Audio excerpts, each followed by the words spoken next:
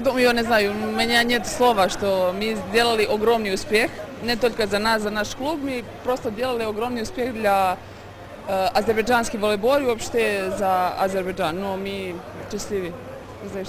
U nas što je znači? U nas je eh, čampionat Azerbeđana i u nas je Liga čampionov.